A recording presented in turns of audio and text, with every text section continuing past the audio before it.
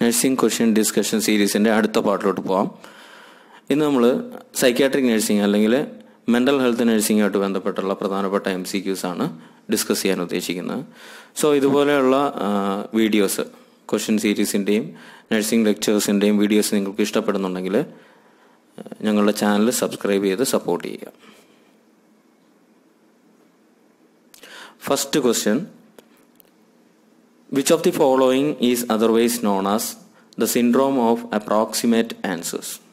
Option A hypochondriasis, option B Jenser syndrome, option C sundowning syndrome, option D neuroleptic malignant syndrome.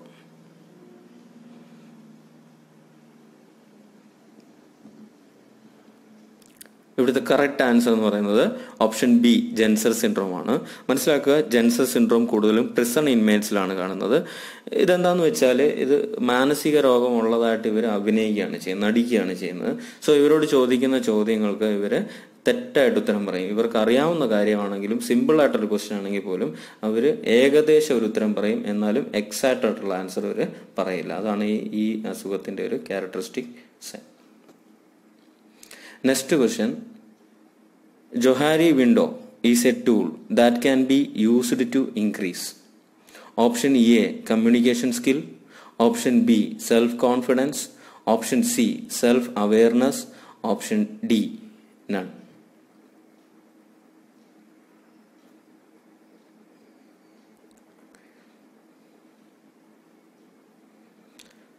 Correct answer option C self awareness ആണ്.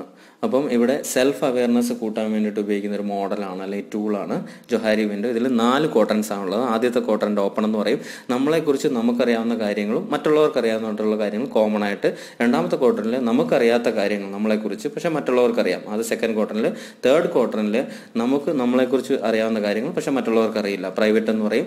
നാലാമത്തെ ക്വാർട്ടറിൽ നമുക്ക് നമ്മളെക്കുറിച്ച് അറിയാത്തതും മറ്റുള്ളവർക്കും അറിയാത്തതായിട്ടുള്ള കാര്യങ്ങൾ unknown ആയിട്ടുള്ള ഒരു ക്വാർട്ടറിലും ഇടും.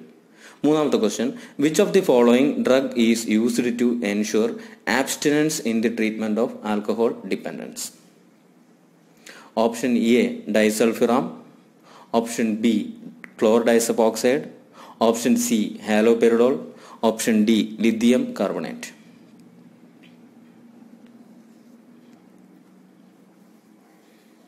ഇവിടുത്തെ correct answer option A disulfiram ആണ്. മനസ്സിലാക്കുക ഡൈസൾഫറാം എന്ന് പറഞ്ഞാൽ ഒരു അൺഅബ്യൂസ് ഡ്രഗ് ആണ്. ആൽക്കഹോൾ ഡിറ്ററന്റിന് വേണ്ടിയിട്ട് അല്ലെങ്കിൽ മദ്യപാനം നിർത്താൻ വേണ്ടിയിട്ട് കൊടുക്കുന്ന ഒരു ഡ്രഗാണ് ഡൈസൾഫറാം ഡൈസൾഫറാം എടുത്തതിന് ശേഷം പിന്നെ മദ്യം ഉപയോഗിച്ചാൽ ആൽക്കഹോൾ എടുത്തു കഴിഞ്ഞാൽ ഡൈസൾഫറാം എത്തനോൾ റിയാക്ഷൻ ഉണ്ടാവും. ക്ലോർ ഡൈസപ്പോക്സൈഡ് വിഡ്രോവലിന് കൊടുക്കുന്നതാണ് ആൽക്കഹോൾ വിഡ്രോവലിന് കൊടുക്കുന്നതാണ്. ഹാലോപെരിഡോൾ ആന്റിസൈക്കോട്ടിക് ആണ്. ലിഥിയം കാർബണേറ്റ് മൂഡ് സ്റ്റെബിലൈസർ ആണ്. Question number four a psychotherapeutic approach based on the idea that behavior is secondary to thinking. Option A behavior therapy, option B psychoanalytical therapy, option C cognitive therapy, option D milieu therapy.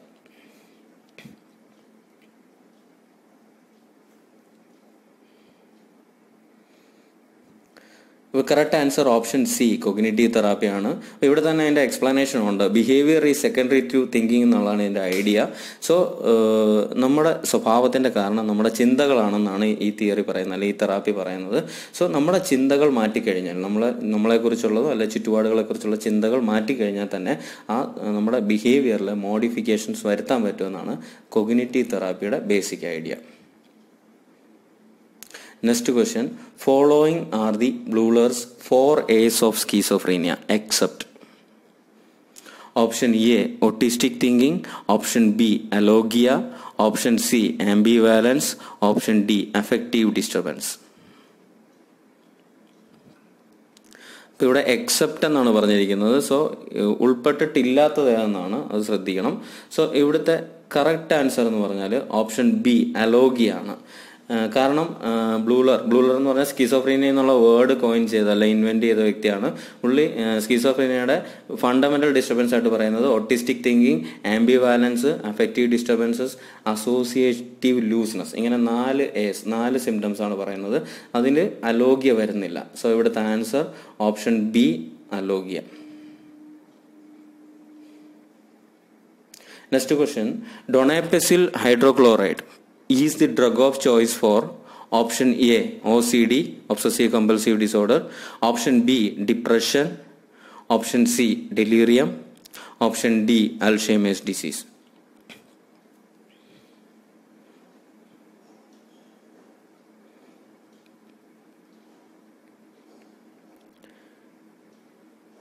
ഇവിടുത്തെ correct answer option D Alzheimer's disease ആണ് കാരണം Alzheimer's ഡിസീസിൽ കുറയുന്ന neurotransmitter ആണ് acetylcholine so അസെറ്റൈൽ കൊളൈനെ കൂട്ടാൻ വേണ്ടി കൊടുക്കുന്ന ഡ്രഗാണ് ഡൊണേപ്പെസിൽ ഇതിന്റെ മെക്കാനിസം ഓഫ് ആക്ഷൻ എങ്ങനെയാണെന്ന് പറഞ്ഞാൽ ശരിക്കും പറഞ്ഞാൽ ഡൊണേപ്പെസിൽ എന്ന് പറഞ്ഞാൽ ആന്റി കോളിൻ എസ്ട്രേസ് ആണ്. കോളിൻ എസ്ട്രേസ് എന്ന് പറയുന്ന എൻസൈം ആണ് അസെറ്റൈൽ കൊളൈനെ നശിപ്പിക്കുന്നത്.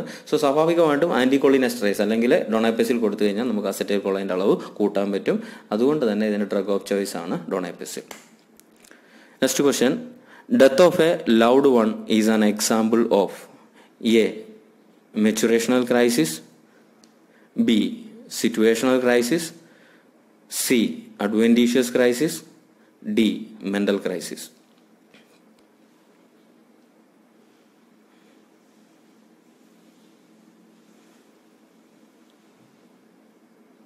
ഇവിടുത്തെ correct answer option B situation crisis ആണ്.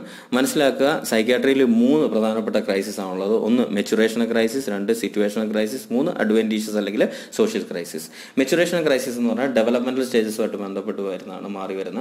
ഉദാഹരണം marriage birth of a child retirement ഒക്കെ പറയാം. സിറ്റുവേഷൻ ക്രൈസിസ് അൺഎക്സ്പെക്റ്റഡ് ആണ് പെട്ടെന്ന് കയറി വരുന്നതാണ് ഗ്രീഫുമായിട്ടൊക്കെ ബന്ധപ്പെട്ടത്. ഡെത്ത് ഓഫ് എ ലൗഡ് വണ്ണും ഡൈവോഴ്സും ഒക്കെ പറയാം. അഡ്വന്റീഷ്യസ് ക്രൈസിസ് സോഷ്യൽ ക്രൈസിസ് എന്ന് പറയും. അത് ഡിസാസ്റ്റേഴ്സുമായിട്ട് ബന്ധപ്പെട്ടതാണ്. Question number 8. Chapter which deals with the provision for protection of human rights of mentally ill persons in the Indian Mental Health Act is Option A, Chapter 3, B, Chapter 4, C, Chapter 8, and D, Chapter 5.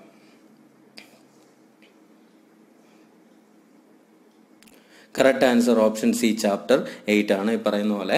ഇവിടെ കൊടുത്തിരിക്കുന്ന provision അപ്പോൾ ഇതുമായിട്ട് ബന്ധപ്പെട്ട details ആണ്. Protection of human rights of mentally ill പേഴ്സൺസുമായിട്ട് ബന്ധപ്പെട്ടത്. Chapter three deal ചെയ്യുന്നത് ശരിക്കും പറഞ്ഞാൽ ഹോസ്പിറ്റൽ സൈക്കാട്രിക് ഹോസ്പിറ്റൽസിന്റെ എസ്റ്റാബ്ലിഷ്മെന്റും മെയിന്റനൻസുമായിട്ട് ബന്ധപ്പെട്ട ഗൈഡ് ലൈൻസും ഫോറിൽ അഡ്മിഷനുമായിട്ട് ബന്ധപ്പെട്ട സൈക്കാട്രിക് നഴ്സിംഗിന്റെ അഡ്മിഷനുമായിട്ട് ബന്ധപ്പെട്ട പ്രൊസീജിയേഴ്സും ഫൈവിൽ ഡിസ്ചാർജുമായിട്ട് ബന്ധപ്പെട്ട ഡീറ്റെയിൽസുമാണ് കൊടുത്തിരിക്കുന്നത്. Question number 9.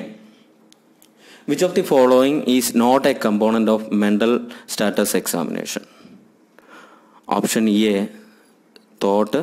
Option B, mood. Option C, insight.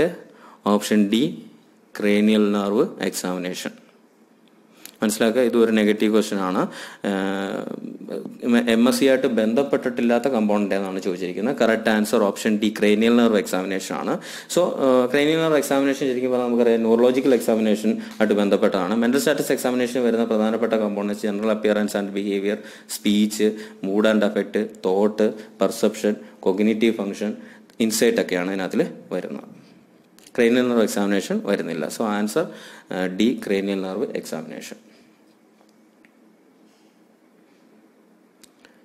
പത്താമത്തെ question excessive emotionality and attention seeking behaviour is characteristic of option A histrionic personality disorder option B narcissistic personality disorder option C paranoid personality disorder and option D borderline personality disorder